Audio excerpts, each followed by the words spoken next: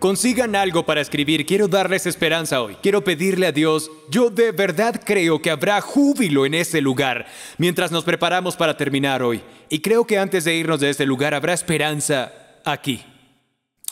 Vendrán dificultades y no podemos alejarnos de ellas, pero quiero que entiendan esto, para el Hijo de Dios, para el pueblo de Dios, cuando vienen las dificultades, pasan dos cosas, nos prueban y nos mejoran. Eso es lo que hacen, prueban dónde se encuentra nuestra fe, pero también nos mejoran, porque Dios construye con esa dificultad. Pero no siempre es así para las personas. Cuando algo malo le sucede a algunos, e incluso en nuestro yo estuve, yo pude hablar con ellos, escucho cosas como esta, jamás podré creer en un Dios que permite que esas cosas sucedan. Y he oído eso, he conversado con ellos aquí mismo en Nueva York y en diferentes partes del país. Escucho, ¿cómo puede existir Dios si esto sucede? Esta misma semana, um, una de las estrellas del fútbol femenino, Megan Rapinoe, Jugó en una gran final, considerada ah, ganadora de medallas y una de las caras del fútbol femenino de Estados Unidos. Estaba terminando su final, esto antes de su retiro. En Chicago, en el Soldiers Field, jugaban contra Sudáfrica.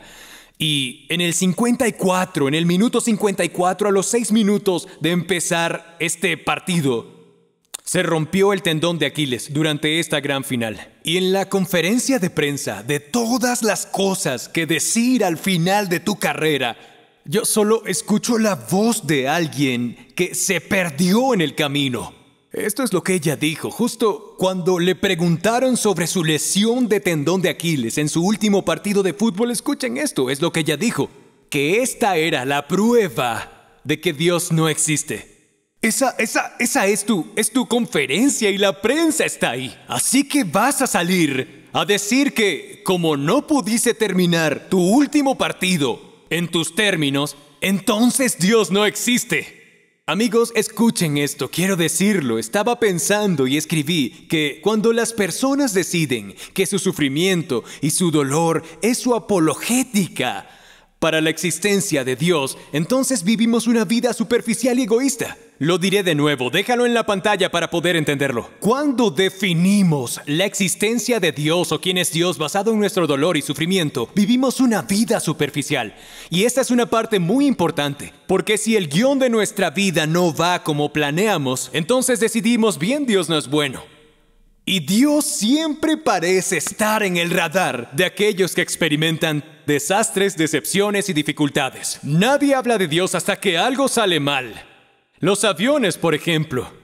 Y lo que es asombroso es esto, es que las aerolíneas son ateas o son cristianas.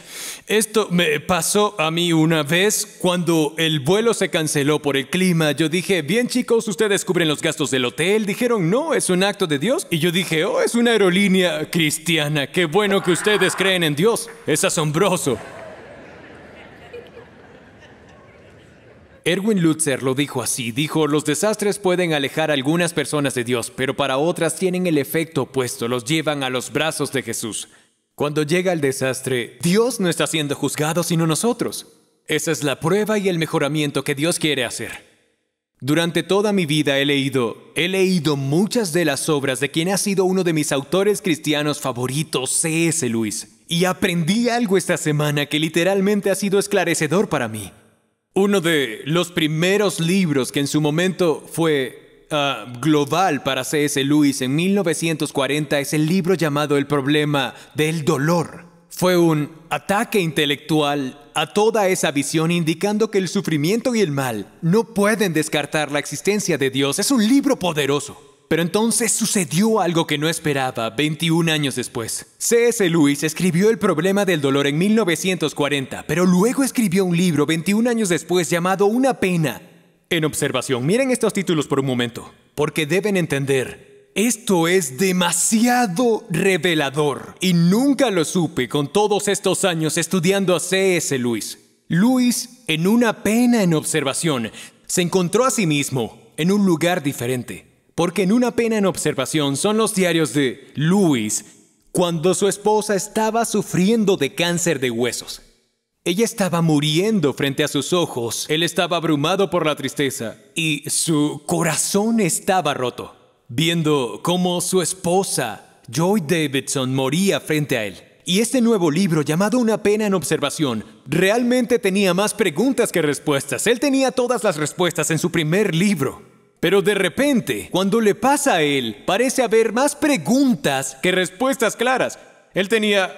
Y de hecho, esta parte también era nueva para mí. Cuando publicó Una pena en observación, usó lo que llamamos en la, en, en la literatura, usó un seudónimo. Tenía un nombre diferente a C.S. Lewis, no quería que nadie supiera que era él y usó N.W. Clerk. Y cuando la gente empezó a leer el libro de N.W. Clerk, que era C.S. Lewis, empezaron a regalárselo a C.S. Lewis para ayudarlo durante la dificultad y le decían, deberías leer esto, esto te va a ayudar durante este tiempo. Y sabemos que finalmente se sinceró y dijo, este es el libro que escribí desde mi propio dolor. Fue un libro nacido del dolor. Ah, más que, escuchen, era un libro nacido del dolor, más que simples respuestas intelectuales. Y lo más sorprendente es que todo es genial cuando se trata de escribir y predicar. Pero cuando se convierte en cáncer, ahora ya sabes si lo que escribiste, predicaste y aconsejaste es realmente verdad. Es cuando de repente comienzas a notar que desde la cima de la montaña podemos ver la vida, pero desde el valle experimentamos la vida.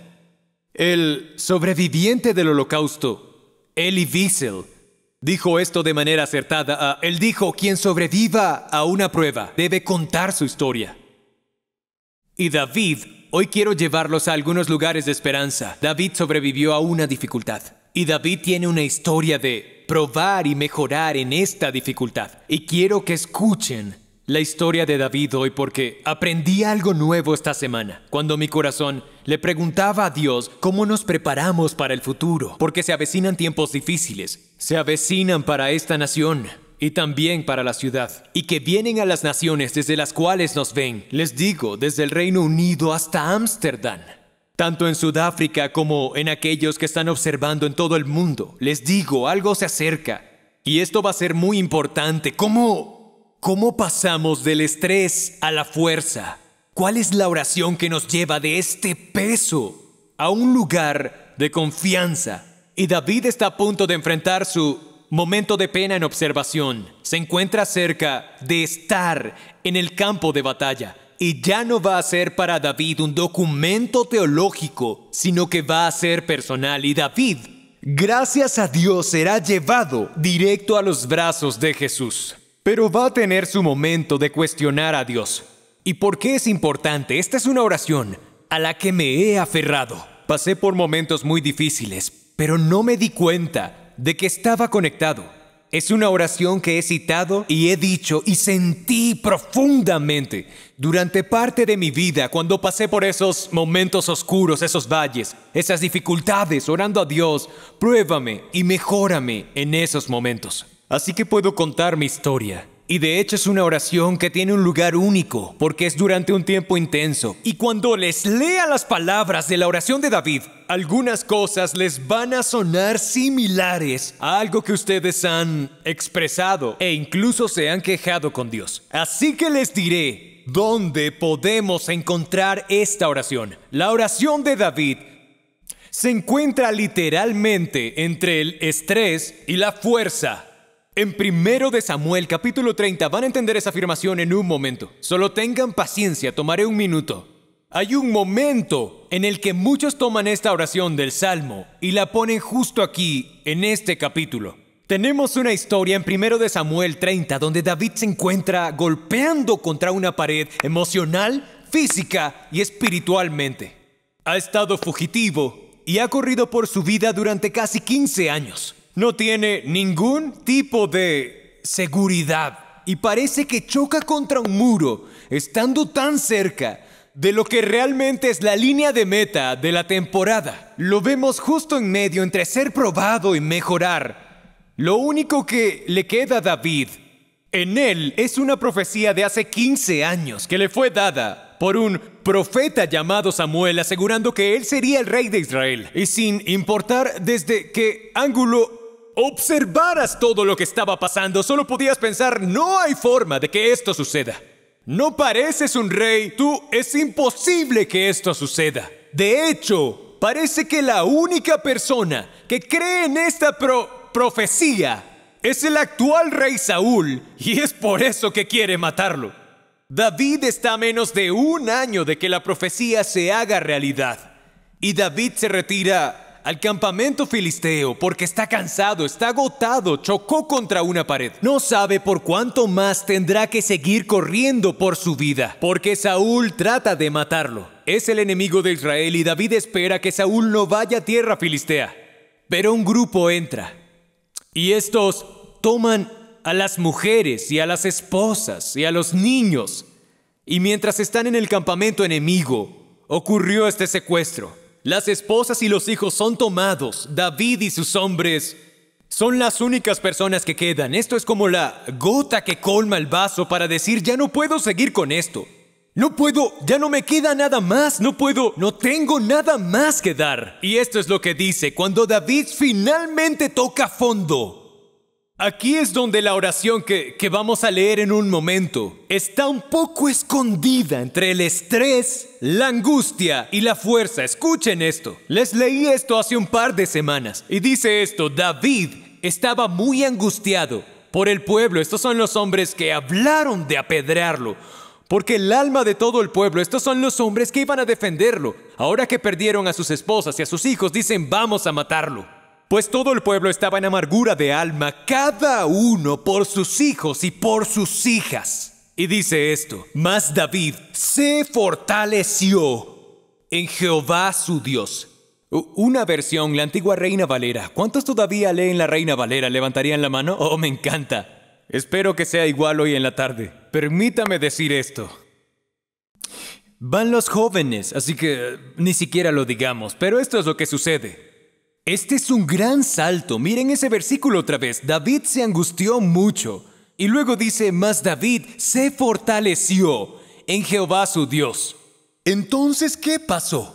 Un hombre que se ha golpeado contra la pared, que ya no tiene energías. ¿Cómo se pasa del estrés a la fuerza? ¿Cómo se llega a este punto? ¿Y cómo sucede esto?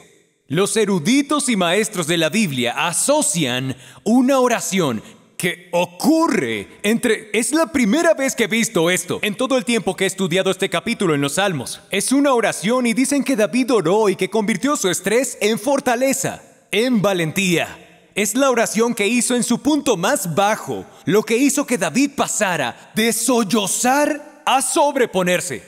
Y lo verán. Son solo seis versículos, y es el Salmo 13 al que quiero llevarlos. Y si tienen una Biblia o si no lo verán en pantalla, son seis versículos que parecen estar entre el estrés y la fuerza de sollozar a sobreponerse. Y esto es lo que sucede, porque van a ver esta increíble transición. Pero aquí es donde comienza, se los leeré, Salmo 13. David dice estas palabras. Esto es lo que a veces he leído e incluso le he dicho a Dios mismo. David dice, ¿hasta cuándo, oh Dios? ¿Me olvidarás? Para siempre sé que ninguno de ustedes ha dicho eso. ¿Hasta cuándo esconderás de mí tu rostro? ¿Hasta cuándo he de tomar consejo en mi alma, teniendo pesar en mi corazón todo el día? ¿Hasta cuándo mi enemigo se enaltecerá? Oh, cuatro veces sigue cuestionando a Dios y finalmente continúa diciendo, considera y respóndeme, oh Señor Dios mío. Esta es la razón de su estrés. Esta es la razón por la que su esposa y sus hijos se han ido. Todos sus 600 hombres han perdido a sus familias. Todos quieren matarlo. Y este es David desde el principio. Solo dice, considera y respóndeme, por favor, oh Señor Dios mío. Ilumina mis ojos. No sea que duerma el sueño de la muerte. Este es David diciendo, hasta aquí llegué. Y luego de todo dice, no sea que mi enemigo diga, lo he vencido y mis adversarios se regocijen cuando yo sea sacudido. Y entonces sucede algo que convierte el estrés en fuerza. Algo sucede cuando pasa de sollozar a sobreponerse y se enciende en una conjunción. Ustedes se acuerdan de eso los sábados por la mañana. School, school, house rock. Si no saben lo que es una conjunción, hay una canción que solíamos cantar llamada conjunción. Lo que es tuyo es increíble. Se saben la canción, pero no las escrituras. Se saben Schoolhouse Rock, pero la conjunción, la unión. Lo que ahí dice es que una pequeña palabra puede cambiarlo todo en un momento. Y con solo un pero y un y, de repente, no importa que sea lo primero, lo que dice arriba la oración, si se agrega la conjunción, la conclusión está debajo. Y de repente en la primera parte David dice, ¿hasta cuándo me olvidarás? ¿Hasta cuándo vendrán mis enemigos contra mí? ¿Hasta cuándo tendré que tomar consejo en mi propia alma? ¿Hasta cuándo, oh Dios? ¿Cuánto tiempo? Y entonces de repente, como, como Schoolhouse Rock, el pero entra en juego. Y dice, pero yo en tu misericordia he confiado. Mi corazón se regocijará en tu salvación. Y David dice esto, cantaré al Señor. Porque Él me ha llenado a mí de bienes. ¿Cómo sucedió esto? ¿Cómo se pasa de sollozar a sobreponerse? ¿Cómo es que pasaste del estrés a la fuerza? Algo pasó aquí. Se ve la angustia y se escucha la frustración. Con esa frase, ¿hasta cuándo? Se repite cuatro veces. Esta oración es casi como si comenzara por el invierno y terminara con el verano. Comienza con un gruñido frustrado y termina con un arrebato de alabanza. ¿Hasta cuándo? ¿Lo conocen? Es una queja sobre el tiempo. Espera e impaciencia con Dios. ¿Cuántos se han enfrentado a una oración o a un llanto de hasta cuándo? Oigan, están mintiendo. Si ustedes han, si has caminado con Dios, esto es todo. Es un salmo corto con un cambio transitorio que es tan épico. Los dos primeros versículos son oscuros y deprimentes, los dos últimos versículos son alegres y esperanzados. De hecho, estaba leyendo que un escritor dice, uno pensaría que el Salmo 13 ha sido escrito por dos personas diferentes. Lees la primera parte y dices, wow, ese hombre tiene problemas. Luego lees el final y dices, wow, ese hombre ama a Dios. Y entonces los creyentes decimos, wow, ese es el mismo hombre. Y si Dios pudo hacerlo por él, también puede hacerlo por mí ahora. Pero quiero mostrarles cómo David pasa de sollozar a sobreponerse. Hay un camino claro desde el estrés hasta la fuerza. Y el Salmo 13 es el clamor de un hombre desesperado, que comienza cuando se está dando cuenta. Mientras cuestiona a Dios hasta cuándo, hasta cuándo, hasta cuándo. No suena como si estuviera mejorando, porque cuanto más lo dice, hasta cuándo es el... Odio decirlo así porque esto me va, esto me va a autoincriminar. ¿Hasta cuándo es el llanto de un niño que aún es inmaduro? Eso es lo que es. ¿Cuánto tiempo más nos queda en este viaje? Si vas a hacer un viaje familiar, ¿cuánto tiempo más se demora esto? ¿Cuántos padres saben de lo que estoy hablando? Ese es el llanto de los inmaduros, es el llanto del niño, es el llanto de la incomprensión. ¿Cuánto tiempo más va a durar esto? ¿Hasta cuándo? ¿Hasta cuándo? ¿Hasta cuándo? David comienza a quejarse y cuatro veces se escucha el clamor de David de hasta cuándo, escuchen, hasta cuándo, oh Señor, me olvidarás. ¿Hasta cuándo esconderás, esconderás de mí tu rostro? ¿Hasta cuándo he de tomar consejo en mi alma? Esa es una pregunta importante. ¿Y hasta cuándo mi enemigo se enaltecerá sobre mí? Lo cual ni siquiera es cierto. De hecho, cuando comienzas a ver todo esto, tres de ellas ni siquiera son ciertas y una de ellas es una amenaza. Es cuestionar a Dios sobre sus tiempos, estar en desacuerdo porque lo que quieres ya debió suceder.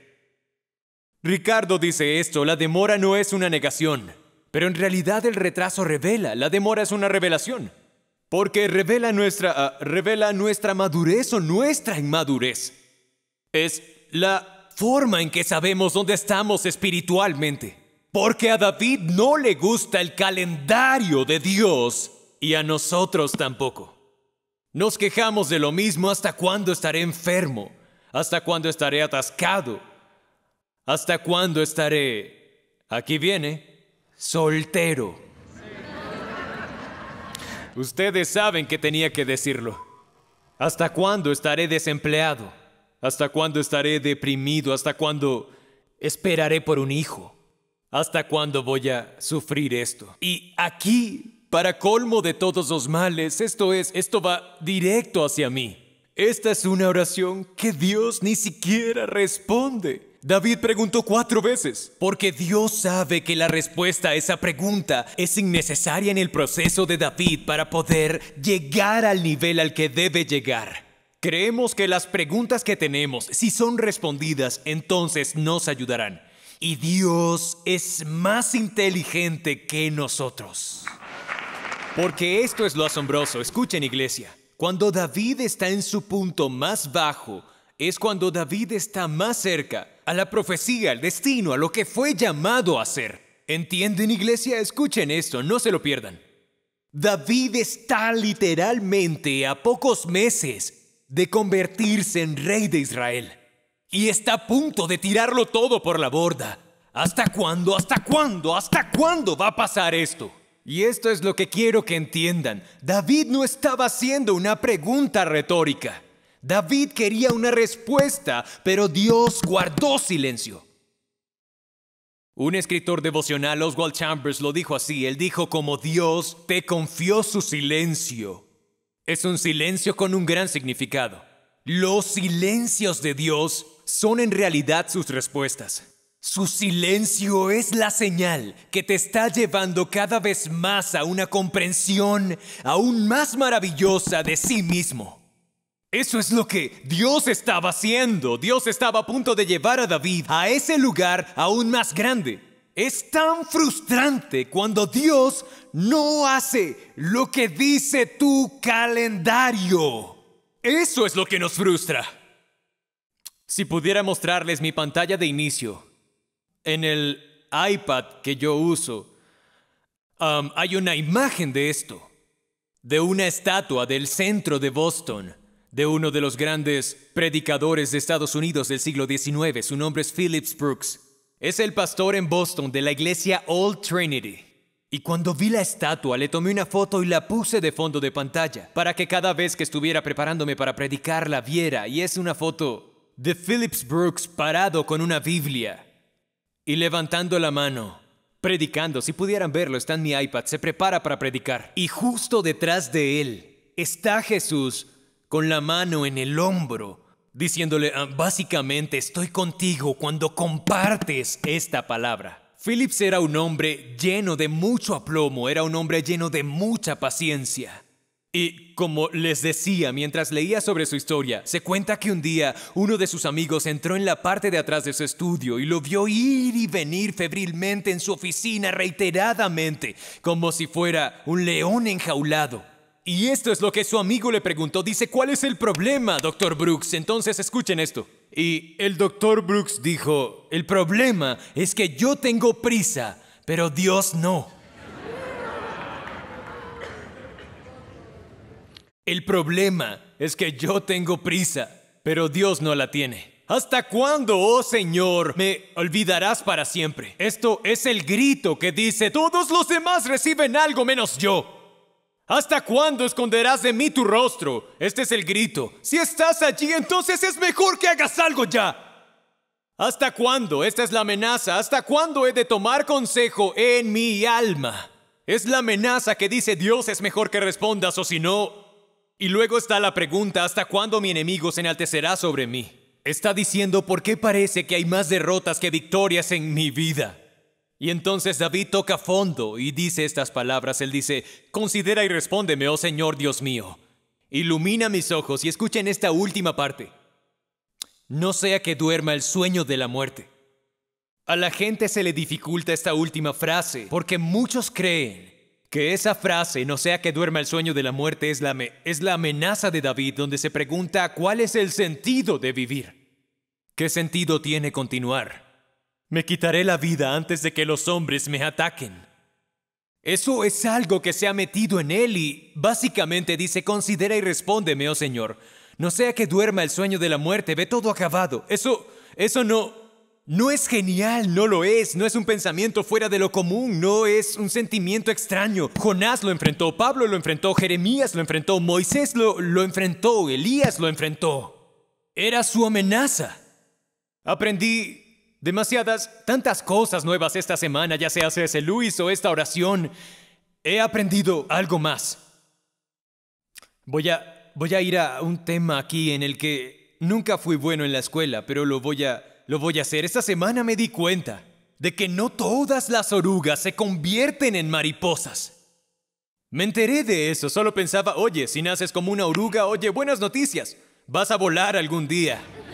Y entonces aprendí algo que los científicos dicen que hay una mosca que puede venir y, meterse por dentro del cuerpo de la oruga y poner un huevo que se convierte en una larva. Y esto es lo que aprendí. Ahora aquí viene mi... No, no, no me castiguen. Este es mi lenguaje de inexperto. Y lo que aprendí es, este soy yo tratando de entender todo esto, es que cuando esa larva se mete en esa oruga, se empieza a comer todos los elementos de la mariposa. Dejándola mal, le quita la, la capacidad de entrar en un capullo y convertirse en una mariposa, le va quitando la belleza, le empieza a robar el vuelo, al final le quita todas estas cosas. Así que cuando algo se mete dentro de ti y se abre camino. Algunos van a entender de lo que hablo. Esto te puede quitar la grandeza que Dios puso en ti. Porque se convierte en esa larva que se alojó en tu mente. Dios se ha olvidado. Dios no es para mí. Y finalmente, Dios ni siquiera existe. Como si algo se abriera paso en nuestra alma, en nuestra mente. Que empieza a ir tan profundo en nosotros que poco a poco nos roba la habilidad y va carcomiendo nuestra capacidad de volar, de alabar, de adorar y nuestra capacidad de sentir gozo. Que algunos de ustedes han estado entrando en esta iglesia o a su iglesia, los que están viendo, alrededor del país y alrededor del mundo, y no pueden recordar la última vez que entraron a la iglesia sintiendo gozo. Algo se ha metido en ti y está carcomiendo la adoración, la alabanza y el gozo pero tengo que decirte algo. Hay esperanza hoy. Hay esperanza hoy. Porque esto es lo que pasa. Esos primeros, esos dos primeros versículos del Salmo 13 fueron la larva que cayó sobre él que dice voy a comer. David, tú no vas a ser rey. David, no serás usado por Dios. David, tú ni siquiera mereces vivir. David, deberías quitarte la vida. David, todo el mundo te odia. David, no le gustas a nadie. Todo el mundo piensa esto. Y sin previo aviso, Dios tuvo que intervenir. Hay un momento en el que esa larva es descubierta y destruida. Incluso cuando David está quejándose diciendo, ¿hasta cuándo me olvidarás? Oh, Spurgeon lo dijo así.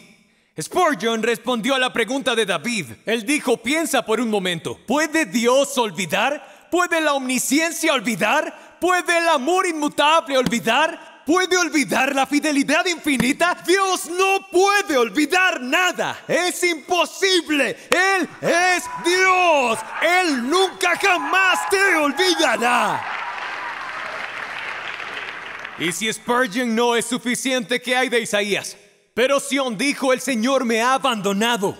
El Señor se ha olvidado de mí. Dios responde, ¿puede una mujer olvidar a su niño de pecho? Sin compadecerse del hijo de sus entrañas, aunque ella se olvidara. Pero Dios dice, yo no te olvidaré. En las palmas de mis manos te he grabado a mí. Me encanta esa palabra en las palmas de mis manos. Ahora escuchen, antes escuchen, ustedes los jóvenes, antes de los iPhones, el, tarjetero, la forma en que recordábamos el número de alguien, lo escribíamos. Oh, ¿cuántos recuerdan esos días? Es como si Dios fuera algo así como un estudiante que está enamorado. Él dice, ¿cómo es tu nombre? Tu nombre es Ricardo, lo voy a recordar. Y tú podrías preguntar, Dios, ¿por qué lo pones en las manos? Porque es el lugar más visible. Dios no puede olvidar y así Dios dice, oh, ahí está la persona que amo. Yo jamás podré olvidarlos. Aleluya.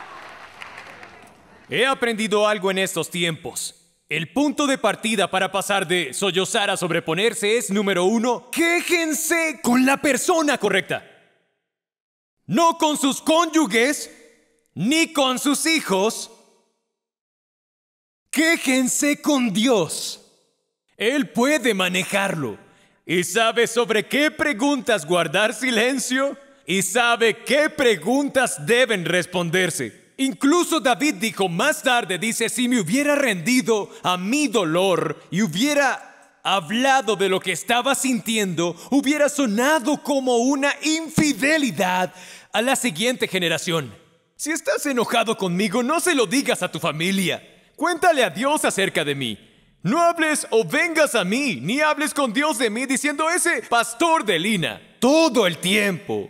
Él es esto, él es molesto, está escupiendo todo aquí. Dile a Dios, dile, cuéntale a Dios sobre mí. Si tú eres la persona que limpia todo esto después de cada sermón, dile a Dios, dile a Dios, quéjate con Dios. Así es como lo hacemos, pero cuando empezamos a quejarnos unos a otros, les voy a decir esto, la gente no puede arreglarlo. Solo Dios puede arreglar esas cosas. Lo segundo es, y ya casi vamos a cerrar, algunos de ustedes están asombrados, cerrar. Oren correctamente.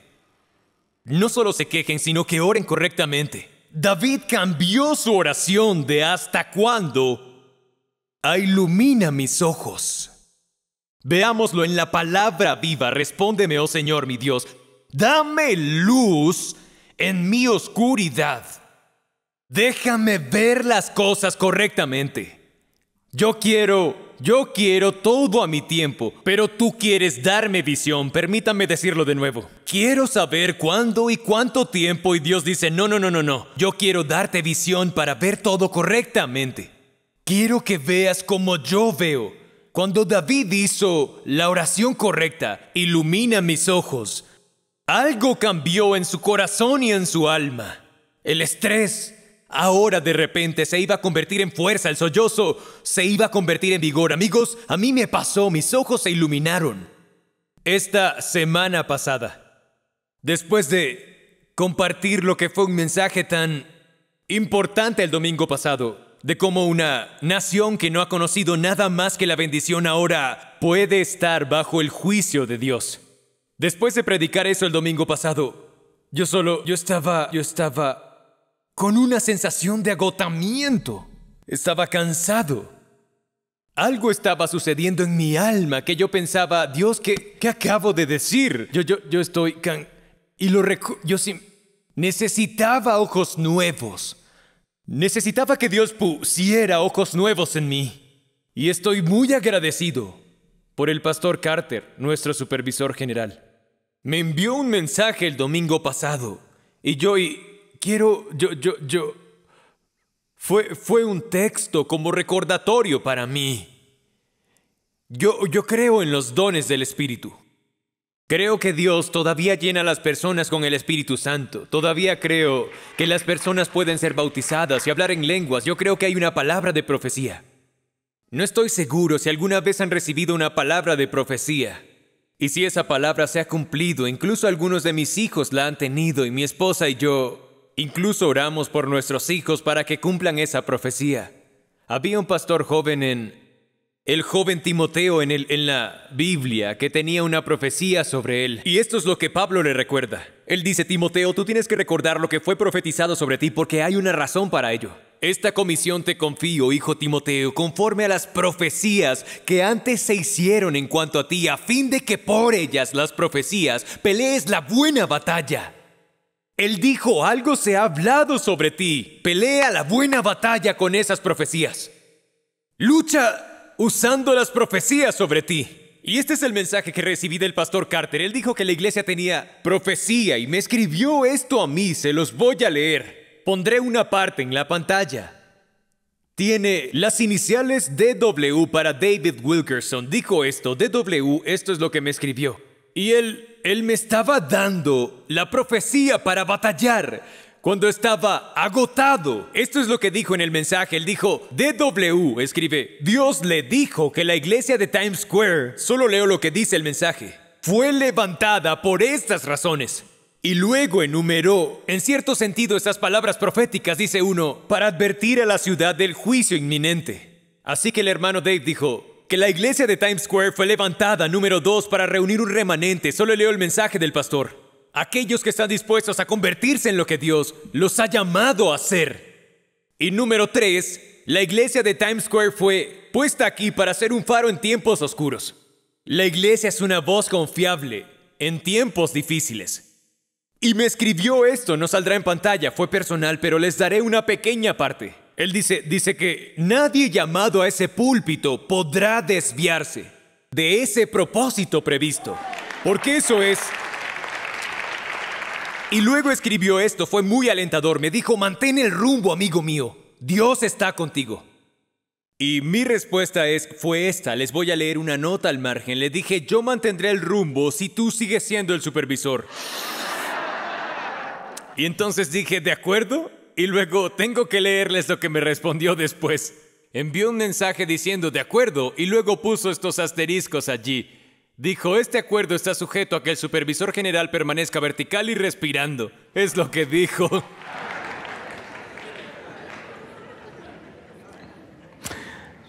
Yo creo en la mitad entre el estrés y la fuerza cuando David estaba en ese momento de tirar todo por la borda. Pido a los músicos que vengan.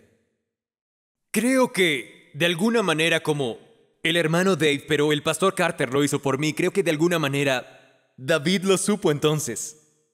Recuerda lo que se ha dicho sobre tu vida. Recuerda lo que Dios te ha hecho pasar durante estos últimos 15 años. Él te ungió hace 15 años y te ha traído hasta aquí. Él no te ha abandonado. Y entonces de repente algo hace clic. Se iluminan mis ojos y Dios dice, escucha ahora Iglesia Times Square, escucha. Para todos los que dicen, ¿hasta cuándo? ¿Hasta cuándo me van a tener en esta iglesia? ¿Hasta cuándo tendré que estar en ese matrimonio? ¿Cuánto tiempo tengo que aguantar con él, ella, ellos? ¿Hasta cuándo seré observado? Y es asombroso, Dios nunca responde esa oración. Pero cuando dice, ilumina mis ojos, Dios dice, eso lo respondo. Porque la respuesta hasta cuándo no te va a ayudar. Pero si puedo hacer que veas lo que sucede correctamente, dice entonces, puedo llevarte en unos pocos meses a un trono. Porque cuando llegues ahí vas a hacer más preguntas del tipo hasta cuándo, sentado en ese trono. Pero no necesito, no necesito que sepas los plazos, necesito que veas con mis ojos. Y él dijo esto, pero yo, una vez que él dice, ilumina mis ojos, algo hace clic. Y dice, pero yo en tu misericordia he confiado. Mi corazón se regocijará en tu salvación. Cantaré al Señor porque me ha llenado de bienes. Esa palabra significa que no retuviste nada, nada en mi vida. Todo lo que he necesitado, Dios lo ha provisto para mí.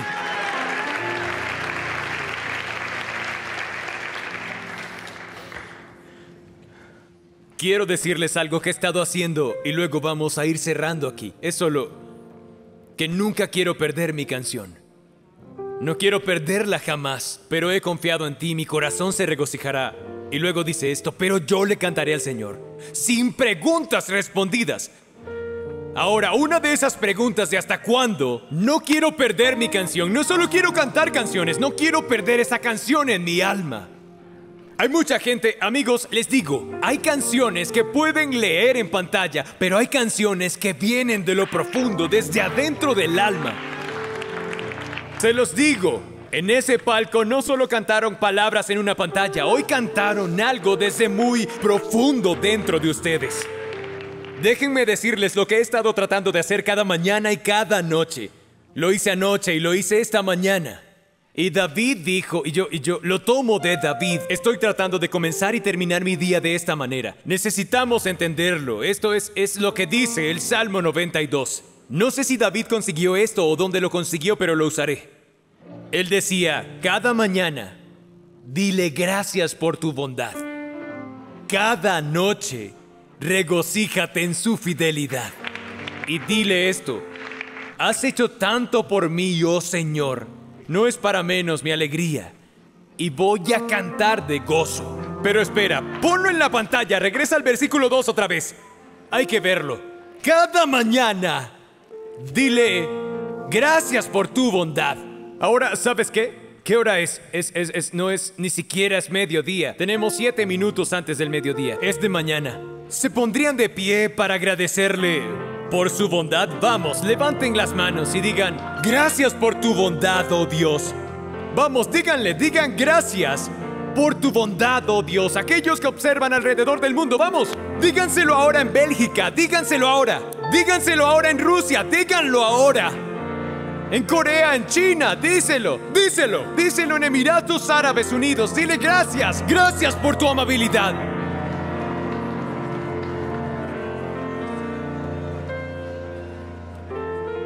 Y luego cada noche le agradecemos por su fidelidad. Vamos a adelantarnos. Dios ha sido fiel. Dios ha sido fiel. Dios ha sido fiel. Dios ha sido fiel conmigo. Dios ha sido fiel, ha sido fiel, ha sido fiel. Aleluya, aleluya. Aprendí algo, aprendí algo cuando leía un libro muy antiguo sobre los mercados del primer siglo. Decía que cuando caminabas por los mercados de Jerusalén, y contaba que si querías, porque había tantos, sería como caminar por las calles de Broadway y comprar uno de esos bolsos de imitación que ninguno de ustedes compra que si alguno comprara uno de esos, se sabe con solo observar con atención, ese no es real, ese no es real, ese no es real, ese no es un Rolex real y eso no es un ah, bolso real de diseñador. Y dicen que la forma de saber si la cerámica era real, el único truco para probarla era moverla. Golpea, golpea la cerámica, muévela. Y esto es lo que dice, si la golpeas, cantará. Si la golpeas, debe haber un sonido. Si los golpeas, no se escuchará un hasta cuándo, sino un toda mi vida ha sido fiel. Toda mi vida ha sido tan, tan bueno. Si se acercan a Ricardo y el enemigo lo golpea, Así de repente empieza a levantar las manos y sale de él una canción que dice Dios, ¿de dónde salió esto? Y él puede declarar esto. Él puede declarar con David. Pero yo en tu misericordia he confiado. Mi corazón se regocija en tu salvación. ¿Por qué? Porque me diste mucho más de lo que merezco hoy. Aleluya.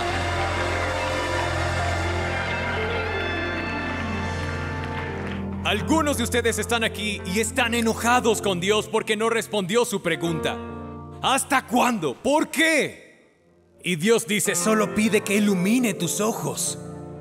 Dios dice, solo pide ver diferente. Porque si piensas cuando tenga mi respuesta, entonces seré bueno, eso no es verdad. Dios dice, lo has visto todo mal. Y algunos de ustedes nunca avanzan hacia la fuerza, nunca pueden sobreponerse. Y es porque están ahí de pie, con los brazos cruzados diciendo, Él no contesta, Él no, Él está demorado. Les adelanto que Él nos está dando más de lo que merecemos. Abundantemente, abundante, abundante. David cantará a todo pulmón. Escuchen cómo lo dice en la versión de Message. Dice esto en el Salmo 13, me he arrojado de cabeza en tus brazos. Estoy celebrando tu rescate. Y aquí viene lo mejor, dice esto. Estoy cantando a todo pulmón. Estoy tan lleno de oraciones respondidas.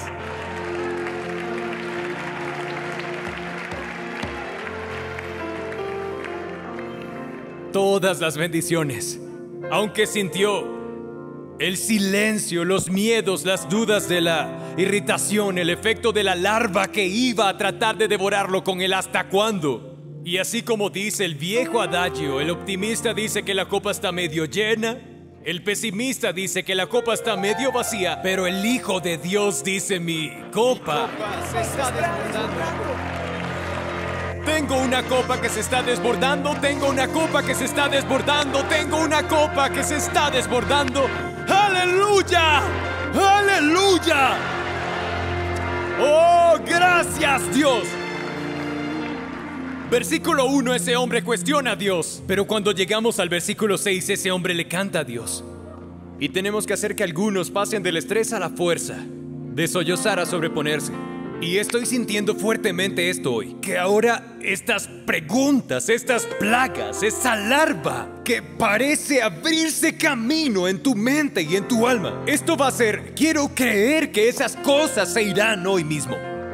En serio, palco, planta principal, espera, vamos a llegar a ti en línea. A todos los que están hoy, quiero que se vayan diciendo esto, Pastor Tim. Necesito moverme a este nuevo lugar del estrés a la fuerza, de sollozar a sobreponerme. Levántate ahora mismo, quiero orar por ti, rápido, sal de tu asiento, levántate lo más rápido que puedas. No te preocupes, escucha, sacude el polvo a tu alrededor, déjalos que se vayan, déjalos que digan no, no lo voy a hacer. Tú ponte en marcha, hazlo porque vamos del estrés a la fuerza, palco, vamos. Encuentren su camino hasta aquí, los vamos a esperar y vamos a creer que que hoy es un día de fortaleza, que Dios va a comenzar a penetrar profundo en las almas de las personas en este lugar. Encuentren su camino palco a las salidas principales, vengan. Pero este es un día de alabanza, este es un día de fuerza, este es un día en el que el estrés comienza, comienza a salir de nosotros. Puedes pegarme y voy a cantar. Puedes atacarme, pero lo voy a alabar. Puedes, puedes traer pruebas, pero mis manos se elevan al cielo. Puedes venir contra mí de diez maneras. Y habrá diez alabanzas diferentes que van a salir de lo profundo de mi alma y harán algo profundo dentro de mí. Si los golpeas, ellos cantarán. Si golpeas a ese coro,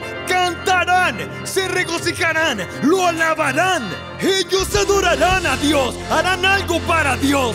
Dios hará algo. Lo he visto. Golpea a la anciana Vicky, ella cantará.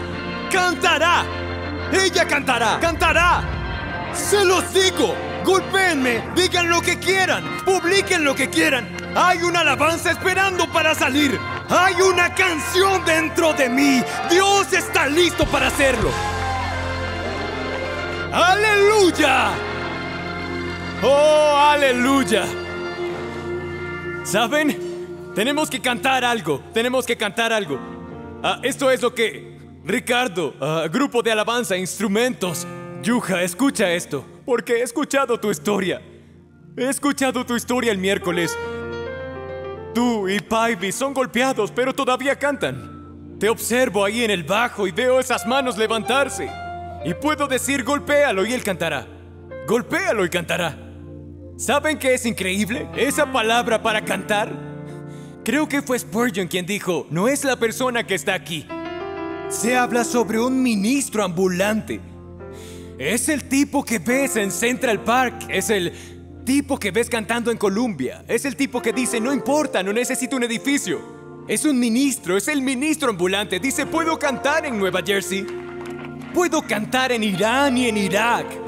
Puedo cantar en un armario. Puedo cantar cuando todo está en mi contra. Puedo cantar, incluso puedo cantar en Staten Island.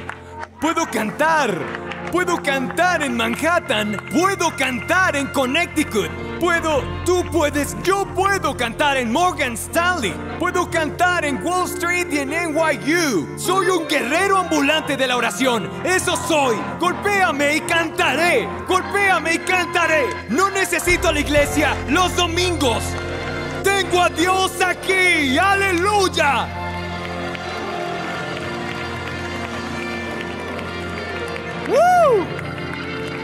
Estoy muy emocionado ahora. Escuchen, venga lo que venga, venga cuando venga y lo que pase en nuestra ciudad. Iglesia, escuchen, no estoy preocupado. Tengo algo muy profundo dentro de mí. Aleluya. Oh, Cristo.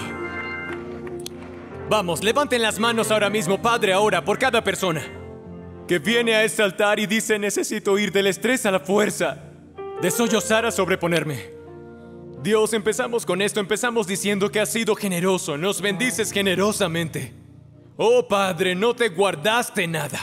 Y Señor, nos hemos molestado porque no has respondido nuestras preguntas, pero Dios, oramos ahora, ilumina nuestros ojos. Ilumina nuestros ojos. Ilumina nuestros ojos. Oh, aleluya. Aleluya.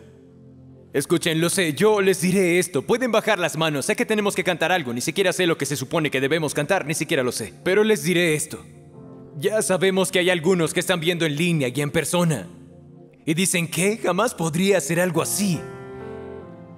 Miren, cuando entienden que Cristo está en ustedes, pueden enfrentar esas cosas. ¿Por qué? Aquí les digo.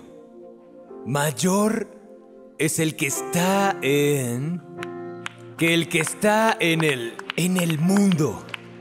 Tengo algo más grande dentro de mí que cuando el estrés trata de venir y apretar, de repente Jesús lo ve y le dice, ¿en serio?